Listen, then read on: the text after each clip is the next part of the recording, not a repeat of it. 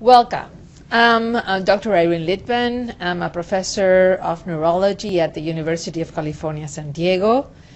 We are at the 17th International Congress of Movement Disorders in Sydney, and I'm having the pleasure of talking to John Steele, who is the most known movement disorder specialist in Guam, and he has plenty of things to tell us about his life. So first, uh, perhaps you can tell us a little bit about yourself and uh, your education. Thank you, Irene. And it's a delight being with you again. We've known one another for so many years now. I'm from Toronto and uh, from a family of physicians in Toronto. And that's where I had my education, a fine education, and where I did medical school, um, finishing that in 1959, and then entering into Dr. Richardson's program for neurological training in, uh, in that year. And uh, com after completing that, then I went on to postgraduate training at Queen Square uh, with Roger Gilliatt and his group, and also Dennis Williams, and then to Marseille, where I studied with Henri Gastaut. Uh, and so that was my formal education and training in neurology. Uh, I continue to regard myself, though I've been away from Toronto for many years, as a Torontonian, and that's my identification, and those are my roots. So, can you tell us about um, what led you to uh, study neurodegenerative diseases? Well, the decision to do neurology uh, was taken, really, it began in late medical school and was influenced by people who were my teachers then, particularly Henry Barnett and uh, Dr. Richardson. And then, as I began my internship and spent time with them both, and also with the neurosurgeons, I decided that I'd prefer doing neurology rather than neurosurgery, which was the option, uh, because of the greater likelihood of advances being ahead in neurology than in neurosurgery. So uh, then I spoke with Dr. Richardson, and, uh, and he agreed that I could enter his program at the Toronto General Hospital. Um, I had an interest in neurodegenerative disease that comes from my family. My grandfather developed a dementia. He was a physician in Toronto who developed a dementia when I was still a young person. I remember his change then from an amiable, loving grandfather to rather uh, an irritable, irascible old man. Mm. And then further on, while I was in medical school, my mother developed her dementia. And subsequently, a brother and a sister have died of a dementia with Parkinsonism. So, in our family uh, has been this specter and reality of Lewy body disease, which I've been aware of since early childhood and felt rather threatened by. And neurology seemed an opportunity to get at not only our family disease, but other diseases that carry the specter of dementia with them. So that's a background. And perhaps, I'm sure indirectly, it uh, influenced my decision to choose neurology. as I said earlier, as a, an opportunity to solve problems and make advances in understanding that neurosurgery, the career in neurosurgery would not have allowed. Mm-hmm. Interesting. Um, who would you say were your heroes, your role models in the field? Well, of course, my family, my grandfather, a general physician in Toronto, my father, a general physician, a family practitioner in Orillia. I remember their offices quite clearly, the patients visiting, my encouragement to be part of their lives. My uncle, who was a remarkable physiologist, who discovered and described calcitonin and was the uh, head of uh, physiology at uh, the University of British Columbia for many years. Very distinguished career. So those were all the early people of my life who influenced my decision to enter medicine. I mean, I, I was the eldest son, so I had no choice to become a doctor. That was a family expectation. And I met it, and I met it very well. I know that. Yes. In fact, this kind of brings up um, what would you consider that are your major achievements in the field? Well, of course, the best known achievement uh, is the description of progressive supranuclear palsy with Drs. Richardson and Olszewski. That was a project we began when I worked with Professor Olszewski, learning neuropathology, and at the same time describing cases that Dr. Richardson had recognized and identified years earlier, uh, patients who had a very distinctive clinical illness that he recognized as being quite unique and not clearly defined before. And uh, during, we, we began our studies with Dr. Olszewski in 1962. And we agreed at the outset that we'd describe the pathology of these cases Richardson had identified. And uh, we did so. Long hours, hard work, and we agreed at the outset that we'd have the description ready for presentations in 1963 at the American Neurological Association and the Association of Neuropathologists and the Canadian Neurological Association. And we achieved that. And we each made presentations to our respective organizations. Dr. Richardson's was the first presentation, and it was uh, received with, with uh, great enthusiasm and uh, admiration by all the members of the Neurological Association. Uh, the same was the situation with Dr. Olszewski. And I was a young person, but at the Canadian Neurological Society, people had heard of this new observation, and they were very pleased. Uh, and, I, and I, of course, was, was honored to, to give my own presentation.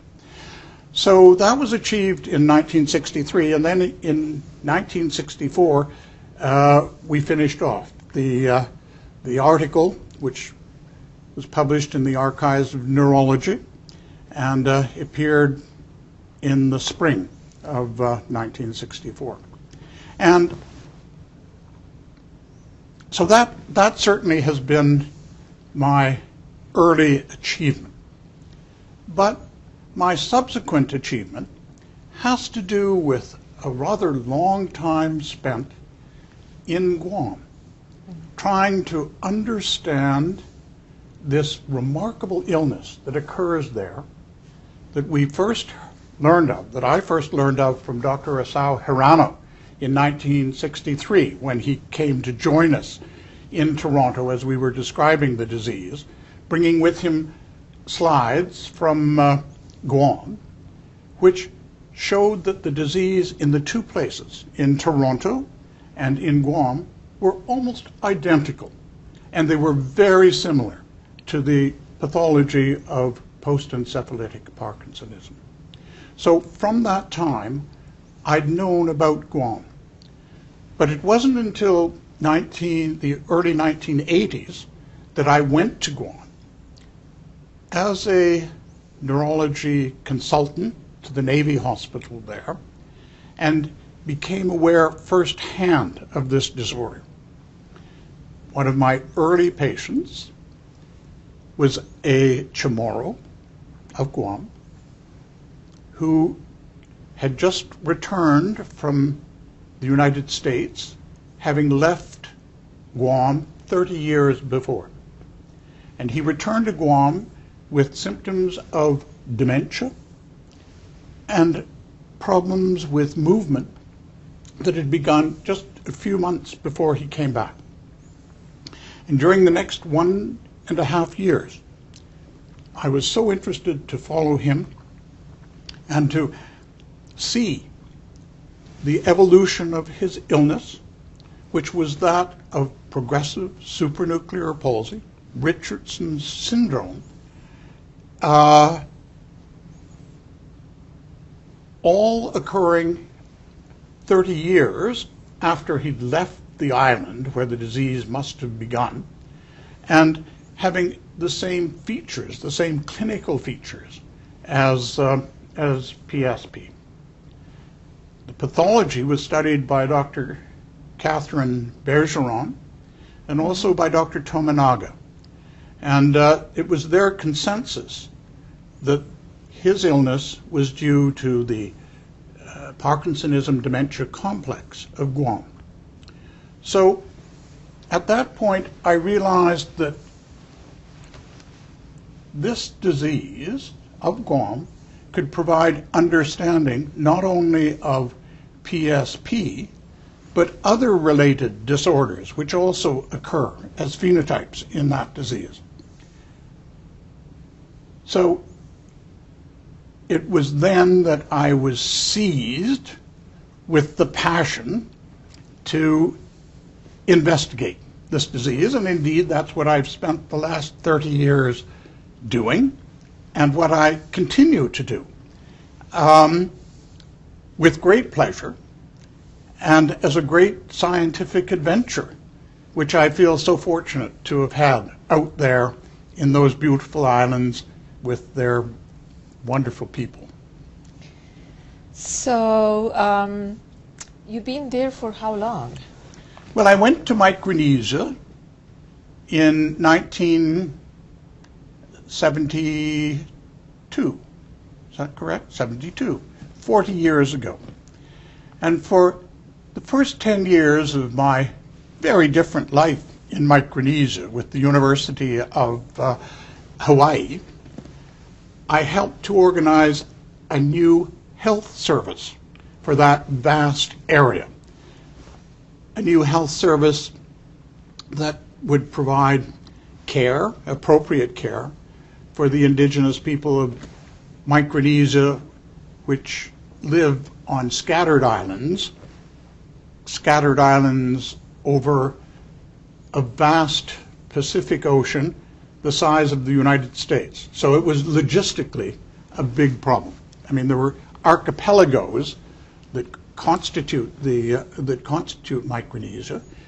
Um, it had been a trust territory given to the United States to administer during the war, and uh, it was taken on by the Department of the Interior, and they were anxious to establish the same services to the Pacific people that uh, occur in the United States. So they recruited a core group of people like myself who could be both role models and teachers of the local healthcare staff.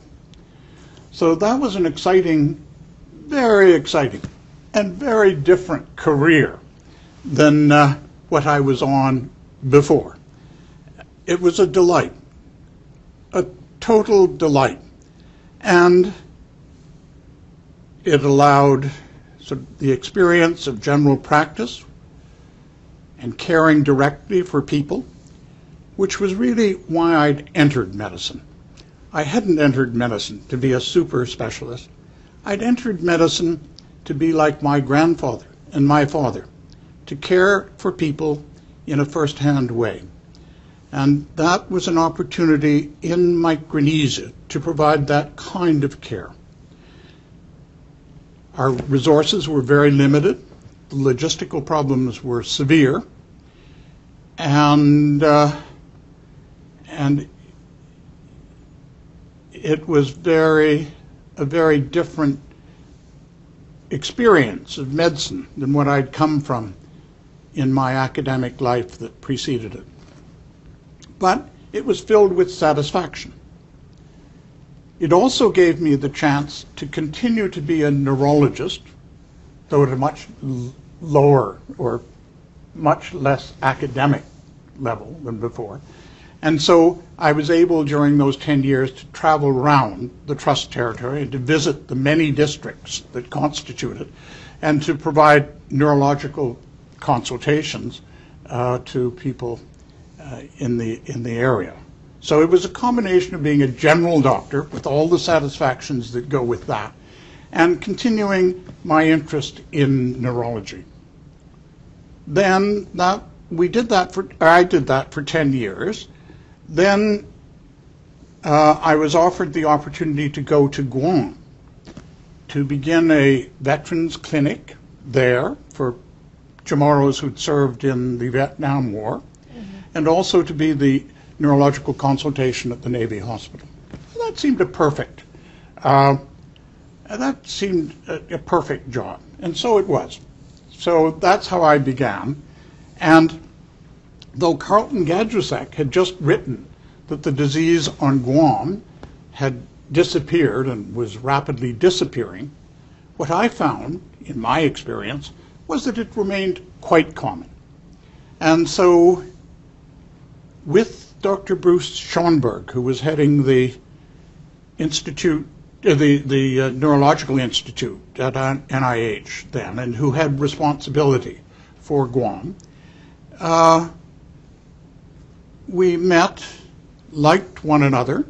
He was interested by my observations. And though NINDS wanted to leave the place because they, Carleton had provided an explanation, a hypothesis for its cause, and it was known to be declining. Murray Goldstein, the director, wanted to leave uh, and Bruce was given the responsibility for leaving. But we agreed together we needed to continue. And so we did. And uh, I began to follow the group that was left over when the formal study was ended in 1982. So that provided me with a large number of patients to become familiar with and to continue a longitudinal study about. Subsequently, the NIA, because of the dementia, which was an increasing was increasingly prominent as a late manifestation of ALS PDC. They took an interest in the disease. And so they funded a resurrection of studies on Guam which were led by Dr. Leonard Kurland, who was about to retire from uh, his position at Mayo Clinic. And of course, that was a delight to Leonard because he was one of the early investigators that had been interested in the disease and had promoted the, uh, the, establishment of a research center there in the 1950s. So then, during the next 18 years, the NIA conducted studies, initially together with the Mayo Clinic, and subsequent to that, with your institution, the University of uh, San Diego. And their studies then ended in 2008, my studies continue and uh, are to be joined by the University of San Francisco and uh, under auspices of the Memory and Aging Clinic, which is headed by Dr. Bruce Miller, and uh, in cooperation with Michael Geschwind and, uh, and uh, Suzee Lee. So that's the future, but that's not what you're asking about. Well, actually, uh, yeah, where do you think the future of the field is? And Well, I think ALS PDC is one of a number of neurodegenerative diseases. And I think they all share a common mechanism. And I think that mechanism is being revealed now. And that's, to me, the excitement of neurodegeneration and the excitement of the end of my career. Because I do feel we're going to have an understanding of the cause of these diverse diseases, which probably have a common uh, cause. And the cause, I think, I'm quite convinced about, is of infectious proteins. Infectious proteins, prions, if you were, if, it, if, if, if you like, that spread slowly through the brain, up or down. A disease with incredibly long latency, variable latency, but often very long, uh, which just simmers along and then erupts. And it may erupt 40 years after in an acute fulminant illness that may progress and be fatal within 6 to 12 months.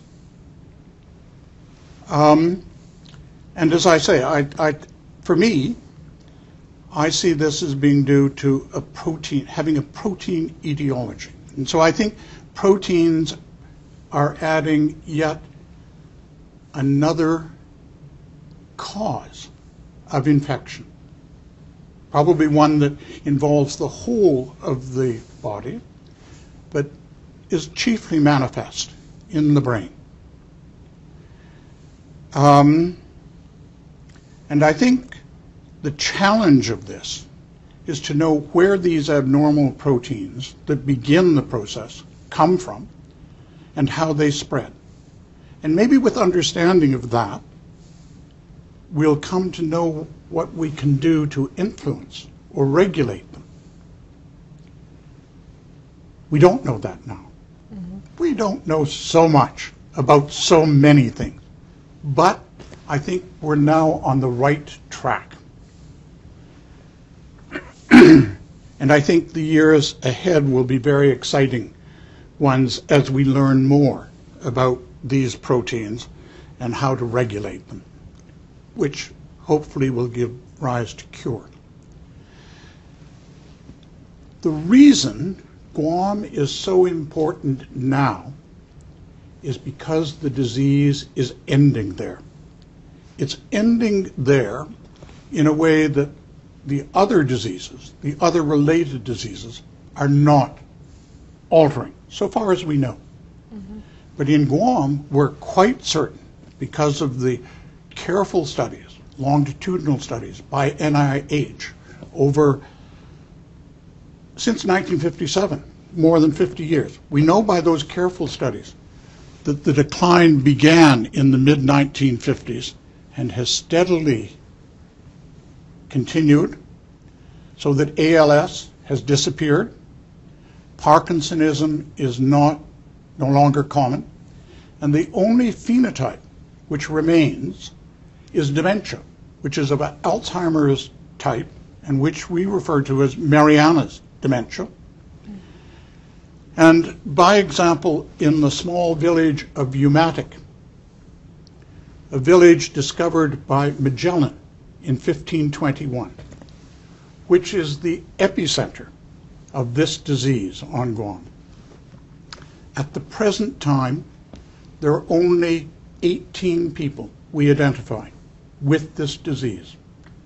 They all suffer dementia.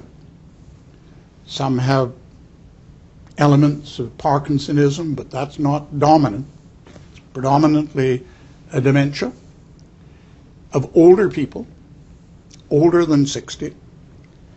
Uh, and uh, no one in the village has ALS, nor has anyone been affected in the village with ALS for many years. So with UC San Francisco, we hope to characterize the dementia of that of those residents very carefully and to study their neuropathology, making sure we have autopsies of each person that's uh, studied. And at the same time, we'll look at the genetics by blood studies from people of the village uh, to make sure there is not a genetic component. I don't think genetics can be very important because genetic diseases don't decline over 50 years from 400 times the rates elsewhere to 0 And I also know that the disease uh, occurs in non-Chamorro migrants to Guam who've come to live there uh, before 1957. So we know of Filipinos and Caucasians, not many, but a few, and important ones, who've had, patholo- who've had studies and who have pathologically proven disease. And the most interesting observation is among U.S. servicemen who were on Guam at the end of the war, towards the end of the war. And studies in New York City 40 years later showed a significant number to have developed ALS. And uh, yet their exposures on the island of Guam were only for one to two months. And so their disease must have been contracted in that short period of time.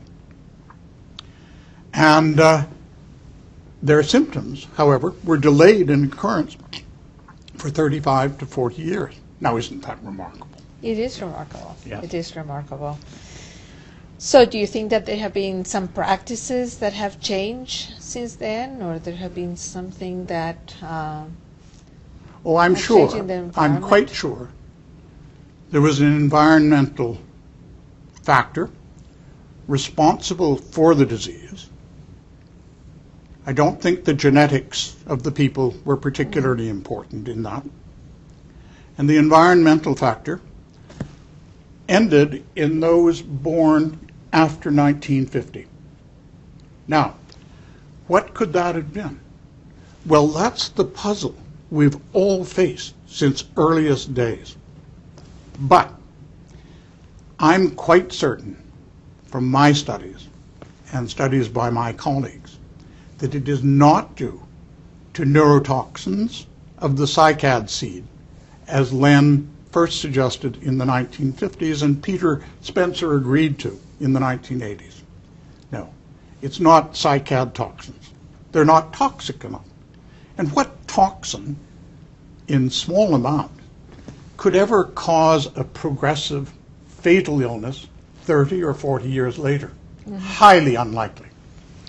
Nor does cycad or its seeds grow in, grow in Japan, where there's an identical disease to ALS PDC of Guam. So cycads, it's not.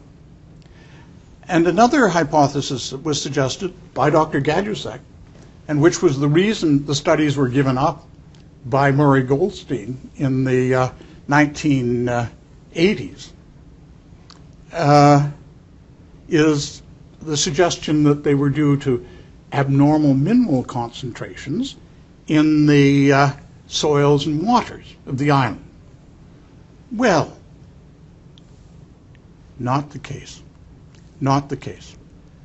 I mean, it was an interesting thought that he had, Carleton had, feeling that there must be a geochemical cause for the same disease occurring in the three different areas of Japan, Guam, and New Guinea. Uh, so good suggestion, but the science and the uh, and the measurements of the minerals and the metals by his group were very flawed, and they weren't confirmed by others. So that hypothesis didn't. And we spoke a little bit about the genetic hypothesis, which many have favored. Uh, again, the results of that are mixed.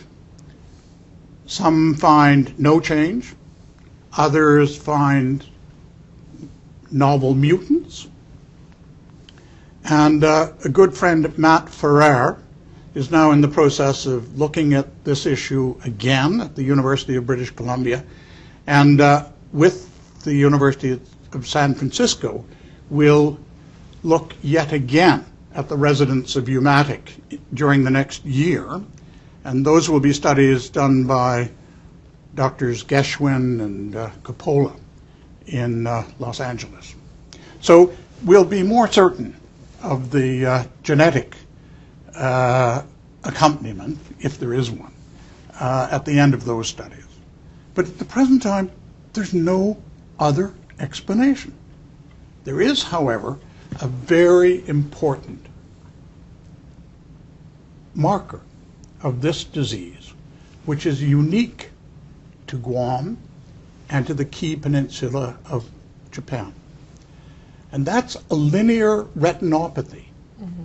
that occurs at the backs of the eyes and can be identified just by binocular um, ophthalmoscopy.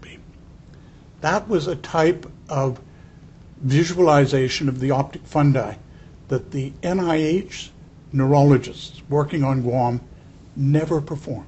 They always used the direct ophthalmoscope to examine the fundi. So they never saw this most remarkable accompaniment. We call it the linear, we, what do we call it? We call it uh, linear retinal pigment epitheliopathy, LRPE, the little bit long. But it does have the appearance of a parasite migration. But it's asymptomatic. It never progresses. Once established, you can look 10 years later, 20 years later, the same. So it's a static retinopathy. And what we know is that it often precedes the onset of the neurological disease. So we think of it as a marker preceding this disease and telling us that this disease lies ahead if people live long enough. Now, as I say, it's asymptomatic and non-progressive. Uh, people don't recall any incident. A parasite has never been seen, but it wasn't looked for before. So it could have, there could have been parasites there, but because they weren't giving rise to symptoms, people didn't come to see the doctors to see what was going on in their eyes. Now, that's a puzzle. I think, and I've thought for many years, since the late 1980s, when ophthalmologist Terry Cox discovered it quite by chance among patients who we referred to the UBC. He discovered it quite incidentally when he was examining their fundi and during the course of assessing the gaze palsy, which was the reason we'd asked a neuro-ophthalmologist to see these patients. So since he described that in the 1980s, we've uh, identified more than 350 patients with the retinopathy. And we've searched the literature and we've talked to the foremost of ophthalmologists and uh, uh, ophthalmologists and parasitologists uh, to see what this could have been. And none of these foremost authorities have seen anything like this anywhere else in the world. And it's uh, and, and they can't tell us what the organism might have been, if it was an organism. And everyone agrees it has that appearance. So that's, a, that's an unsolved mystery, and it, but an important one. And it's um, as great a mystery as the certainty of the cause of the neurological disease. But clearly the two are going together, you know? Well, thank you so much, John, for sharing this fascinating uh, history of yours as well as that of the study of um, PSP as well as PDC and understanding better, hopefully soon, uh, what the causes of these neurodegenerative diseases are. So I thank you for your time and I thank you for your wonderful comments. You've been, you've been a wonderful interviewer, and uh, I think it's so marvelous that the Movement Disorder Society are doing these records, as we're beginning now, so that towards the future, you'll really be able to look back and hear what the opinions were by the experts at the time before there was certainty. But I'm sure certainty lies ahead, and that's my optimism. And that's been my pleasure to, to make these observations and gain this understanding uh, in the Pacific, where I began that romance with its people and its islands 40 years ago, more than, so it's been more than half a lifetime, and such a lifetime it's been. Thank you, Irene. You're a good and kind uh, interviewer. Thank you. Thank you so much for your dedication, actually.